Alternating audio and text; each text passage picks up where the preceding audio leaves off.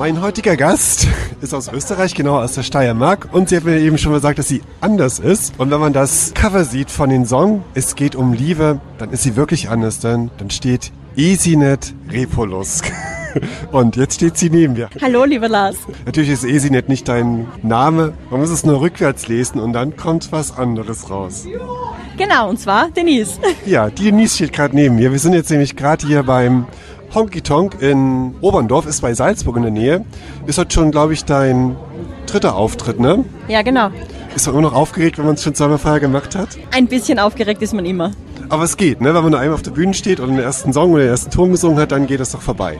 Also meistens nach dem Soundcheck ist die Nervosität schon ein bisschen weg und dann freut man sich eigentlich nur noch auf den Auftritt. Jetzt, jetzt sind wir ja unmittelbar vor dem Auftritt. Geht's jetzt einigermaßen? Ja, es geht mir gut. Die ersten Fans. Und die sind auch wirklich auch schon da, denn wir müssen sagen, am Freitag war die erste VÖ. Du warst da ziemlich aufgeregt. Ich glaube, es ist aufregender als so ein Auftritt, ne? wenn so ein Song rausgeht. Es geht um Liebe, ist ja der aktuelle Song. Ja, ich war ziemlich aufgeregt, vor allem weil ich gespannt war auf die ganzen Reaktionen und auf die Kommentare zu meinem Song und zu, vor allem zu meinem Musikvideo. Und wie waren die äh, Kommentare? Ja, sie waren sehr nett. Ganz viele alte Bekannte haben mir Fotos geschickt während dem Autofahren, wo sie mein Lied hören oder dass sie es schon downgeloadet haben. Also die Kommentare waren wirklich sehr nett. Ich habe auch wieder viele Kontakte, die ich äh, schon lange nicht mehr gepflegt habe äh, gepflegt und habe mich sehr gefreut über jedes einzelne Kommentar. Also haben sich auch Leute gemeldet, die du lange nicht gesprochen hast und haben gesagt, Wahnsinn, was aus Denise geworden ist? Ja, definitiv. Warst du auch überrascht, dass sich wieder Verschollene gemeldet haben, oder? Ja, über manche ähm, Nachrichten und äh, Kommentare habe ich mich wirklich riesig gefreut, da ich sie wirklich schon lange nicht mehr gesehen habe. Und äh, man redet dann kurz, man schreibt wieder kurz und man hört den anderen wieder und das ist immer wieder schön. Also das Motto, Musik verbindet. Das stimmt. Immer.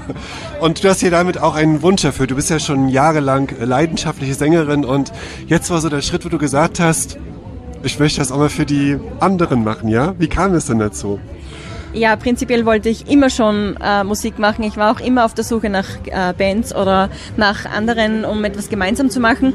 Es hat wirklich bis jetzt nie richtig geklappt. Auch durch meinen äh, Job als Krankenschwester. Man ist ja wochenends oft eingespannt und kann nicht immer frei zur Verfügung stehen für Auftritte. Dann habe ich die äh, Jennifer Bredo kennengelernt bei einem äh, Seminar, und zwar äh, zur Raindrop-Technik. Witzigerweise sind wir zu zweit übrig geblieben und haben dann angefangen, über, unseren, über unseren Beruf zu sprechen und über unser Hobby zu sprechen und sind so auf das Thema Musik gekommen.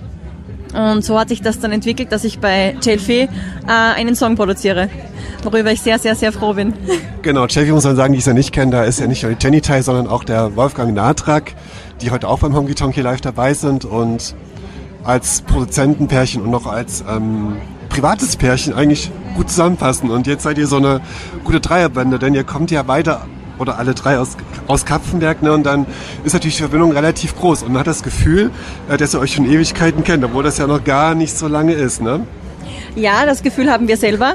Also ähm, wir sind auch privat sehr gut befreundet mittlerweile und es ist wirklich sehr schön, dass man äh, Privates und auch Berufliches quasi miteinander verbinden kann. Gut, jetzt gehen wir nochmal zu, zu Es geht um Liebe, deine aktuelle Single. Die Ideen kamen die jetzt von dir zum Song oder hat Jenny gesagt, ich schreibe dir was auf den Leib? Äh, nein, da ich eigentlich null Ahnung hatte von äh, Songschreiben oder wie man das Ganze so angeht, hat mir diesen ersten Song natürlich äh, Jennifer Bredo geschrieben in Kombination mit Nat äh, Wolfgang Natrak. Ich liebe diesen Song. Ich äh, bin sehr froh, dass sie ihn gemeinsam mit mir produziert haben. Konntest du dich ja irgendwie mit einbringen? Hat dann Jenny gefragt, was sind denn so deine Gefühle zur Zeit? Oder hat sie einfach gesagt, ich kenne die ähm, Denise schon so gut, ich weiß, was sie braucht? Also tatsächlich war es so, dass wir an einem wunderschönen Abend bei mir auf der Terrasse gesessen sind und äh, uns gedacht haben, ja, wir ziehen jetzt einmal eine Englischkarte und das Wort, das gezogen wird, kommt in meinem Liedtext vor und genauso war es und das Wort war Vollendung. Und das kam jetzt vor? Das kommt in meinem Songtext vor. Muss aber vor. genau zuhören, welcher Strophe das vorkommt. Dann musst du genau zuhören. Ist vielleicht jetzt die Gelegenheit, da mal reinzuhören und dann schreibe ich gleich weiter. Ja. Also wir hören genau hin. Das ist meine Musik. Schlagerradio.fm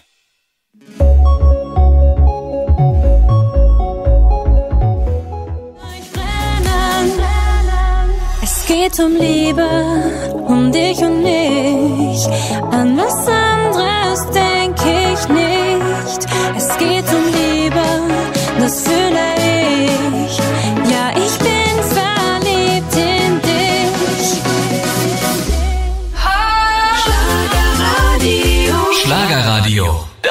ist meine Musik.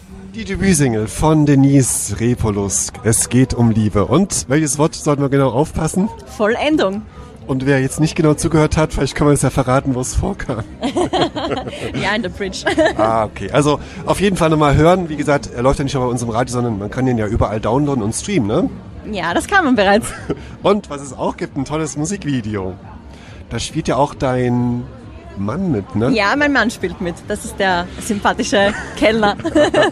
Ja, ist ein sehr schönes Video geworden. Ich glaube, da hast du auch schon viele positive Reaktionen bekommen. Es ist sehr poppig und auch sehr modern geworden. Habt ihr auch mit Jenny die gemeinsamen Ideen gehabt oder wie kam so das Video zustande? Ja, also Ideen durfte ich einfließen lassen und äh, irgendwie ist es dann durch gemeinsame Zusammenarbeit entstanden. Jeder hatte so seine Ideen und die Hauptakteure waren natürlich Chelsea, aber wir haben unsere Ideen einfließen gelassen, also lassen und das ist dann in Ist so auf dein erster Videodreh. Ist man da auch nervös, aufgeregt, wenn sowas ist? Ja, klar ist man nervös beim ersten Videodreh. Hat es so erwartet, dass es so kommt oder hat man gar keine Erwartungen, wenn sowas ist? Ich muss ehrlich gestehen, ich hatte keine Erwartungen. Ich wusste gar nicht, wie so ein Video gedreht wird und äh, es war wirklich sehr lustig. Es war ein schöner Tag und es war echt, echt interessant und spannend. Ja, und dann, wenn man das Video zum ersten Mal sieht, man weiß ja, ist es was gedreht worden? Wie war so deine Reaktion gewesen? Ja, es ist natürlich immer schwierig, wenn man sich selber sieht oder hört. Ja, gemischte Gefühle.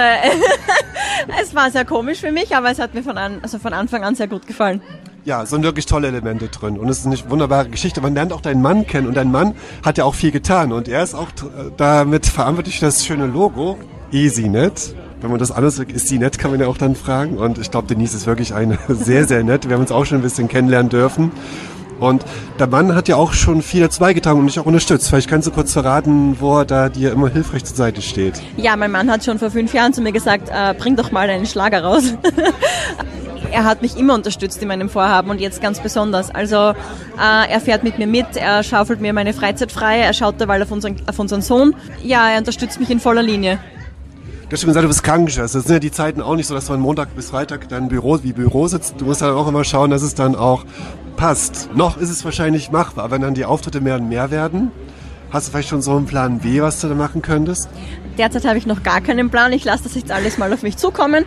Aber äh, natürlich muss es dann irgendwann einen Plan B geben. Aber, aber derzeit lässt es sich noch ganz gut vereinbaren. Aber würdest du sagen, du hast so in deinen, du liebst ja deinen Beruf auch, ne? Du bist ja Krankenschwester. Würdest du, würdest du nicht aufgeben, oder? Nein, natürlich nicht. Also so ganz aufgeben möchte man seinen Job nicht. Das Ja. hat ja auch einen Grund, warum ich den Job gewählt habe. Du hast ja schon ein bisschen weiter geplant. Es gibt ja schon einen zweiten Song, den du auch heute wieder präsentieren möchtest. Und der ist ja ganz persönlich, ja? Ja, der zweite Song ist äh, das Hochzeitstaggeschenk gewesen an meinen Mann. Äh, den habe ich selber geschrieben, tatsächlich äh, im Nachtdienst. War Zeit. Äh, ja, da war gerade Zeit. Ähm, da habe ich den angefangen, dann habe ich ihn äh, Jenny zum Drüberlesen gegeben. Sie hat ein bisschen was abgeändert und äh, wir haben ihn aufgenommen und er hat ihn am Hochzeitstag präsentiert bekommen. Ja, und da waren die Augen sehr groß. Hat er damit nicht gerechnet, der, der Christian, so heißt er dein Mann. Mein Mann rechnet prinzipiell mit allen Geschenken, also er wusste es natürlich schon vorher. Ähm, ich bin da vielleicht auch nicht immer so sehr geschickt im Geheimhalten. Mir ist ein kleiner Patzer passiert beim, ähm, äh, bei der Probeeinstellung von meinem iPad. Er hat es leider aufgemacht und ich habe dann schnell auf Stopp gedrückt. Aber er hat sich trotzdem gefreut. Ja. Aber wäre, glaube ich, größer, wenn es nicht so gewesen wäre. Aber das ist ja natürlich schön, wenn man dann mit sowas überrascht wird. Wenn man so eine tolle Stimme und so eine tolle Freundeseite hat, natürlich um so mehr. Und du hast so ein außergewöhnliches Auto. Hobby, ich muss das mal kurz ablesen, weil ich das noch nie vorher gehört habe. Kraftmark. Ja? Krav Maga, Kraftmagar. genau. Jetzt musst du uns aufklären, was das ist. Ich Ja, glaube, du kannst dich selber verteidigen. Das Ne? ist ein, äh, eine Nahkampfsportart quasi von Israel und ja, es dient zur Selbstverteidigung. Und ich bin da durch Zufall drauf gestoßen. Ähm, ich habe mit einer Freundin gesprochen, dass wir ähm, dieses Stay Away ausprobieren möchten. Das ist äh, quasi nur Frauen-Selbstverteidigung. Und ja, dann bin ich halt zum äh, Krav Maga dazugestoßen. Ist eine ganz eine liebe Gruppe. Ich gehe sehr gerne zum Training. Es ist auch schon eine so eine quasi eine Einheit geworden und man findet Freunde und es ist dann immer wieder lustig. Ja, also Sport ist auf jeden Fall natürlich wichtig und man kann sich halt so auch natürlich selber verteidigen. Wenn irgendwie äh, mal jemand kommt, der nicht so nahe kommen soll, dann ist es natürlich auch auf jeden Fall eine gute Sache. Man hofft, dass man, hofft, dass man es nicht, nicht brauchen wird. Ja, aber es gibt ja immer Situationen im Leben, die man nicht unbedingt möchte, aber dann trotzdem kommen. Weil die hoffentlich nur weiter positive, ne? Du hast ja noch gesagt, dass du so ganz am Anfang stehst, ne? du bist jetzt ähm, noch relativ neu im Geschäft. Von was träumst du denn so im Bereich Musik noch? Ich habe mir vorgenommen, das alles auf mich zukommen zu lassen, mir nicht zu viele Hoffnungen oder Gedanken darüber zu machen. Ich warte jetzt mal ab, wie meine Songs so ankommen und Aber wenn ich das so sehe, Chelsea bleiben auch an deiner Seite, ja? definitiv ja. Und bleibt auch in Richtung Bereich Popschlager, den wir jetzt auch so kennen. Das ist der Plan. Ja. Und wenn man so deine Auftritte sieht, da könnte man denken, Helene Fischer ist so ein Vorbild, stimmt das? Ja, das stimmt. Weil du hast sehr viele äh, Songs von ihr im Programm. Was ist denn so das Besondere für dich an Helene Fischer? Diese Frau fasziniert mich einfach. Sie, sie ist top bei jedem Auftritt. Sie hat eine Wahnsinnsstimme und ihre Songtexte, ihre Lieder, ihre Showbühne, alles. Wenn man jetzt mehr, für, mehr über dich wissen will, wo kann man da was finden? Ja, auf meiner offiziellen Seite auf Facebook, Denise Repolusk. Und auf meiner privaten Facebook-Seite natürlich ist auch ganz schön viel zu sehen. Ja. Okay, wir werden das natürlich weiter verfolgen. Vielen Dank, liebe Denise. Gleich einen schönen Auftritt. Vielen Dank, lieber Lars. Dankeschön fürs Interview. Ja, und natürlich weiter viel Erfolg für die nächsten Singles, also für die aktuelle Single, die wollen wir natürlich genießen. Und jetzt hast du dir noch einen Song wünschen. Wir haben ja bisher nur einen Programm, deswegen hast du jetzt einen Song zur Wahl. Ich darf mir jetzt einen Song dir wünschen. einen Song wünschen. Ja, dann wünsche ich mir von Chelsea. Was spricht denn dagegen? Dann nehmen wir nach den. Ja, bitte. Nichts. Und bevor ich den Musikwunsch für Denise fülle, würde ich nämlich noch gerne einen Einblick geben in den Honky Tonk, denn ich habe ein bisschen was vom Live auf mit, au, vom Live mit, nein, vom Live-Auftritt mitgeschnitten. Ja, jetzt habe ich den Satz rausgebracht. Und zwar von ihrer aktuellen Single von Denise Repolosk, der Live-Mitschnitt. Es geht um Liebe und das war letzten Samstag beim Honky Tonk in Oberndorf bei Salzburg. So, als nächstes darf ich euch mein erstes eigenes Lied vorstellen. Die Veröffentlichung war gestern, produziert von diesen netten Pärchen da drüben von Chelfie Records. Ich freue mich, euch das vortragen zu dürfen. Ich bin gespannt, was ihr sagt. Das heißt, es geht um Liebe.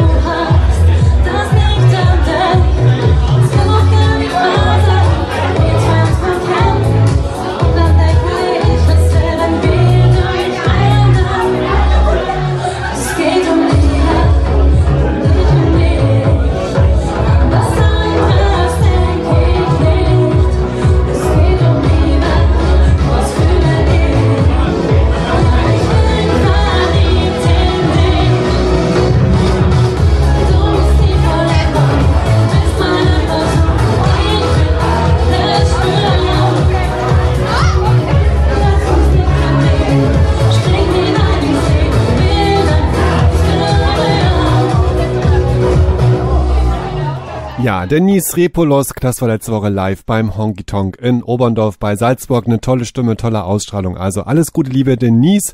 Und wie gesagt, downloaden, streamen und das Musikvideo auf YouTube immer wieder anschauen. Und dann können wir dann auch den Weg von Denise weiter verfolgen. Und an ihrer Seite hat sie im Interview verraten, wie auch an meiner Seite bleiben immer Jelfi, Jenny van Brie und Wolfgang Natrak, zwei wunderbare Menschen und natürlich auch Produzenten. So, von Denise gewünscht, von mir gerne gespielt, die aktuelle Single. Was spricht denn dagegen? Eigentlich nichts. Das ist meine Musik.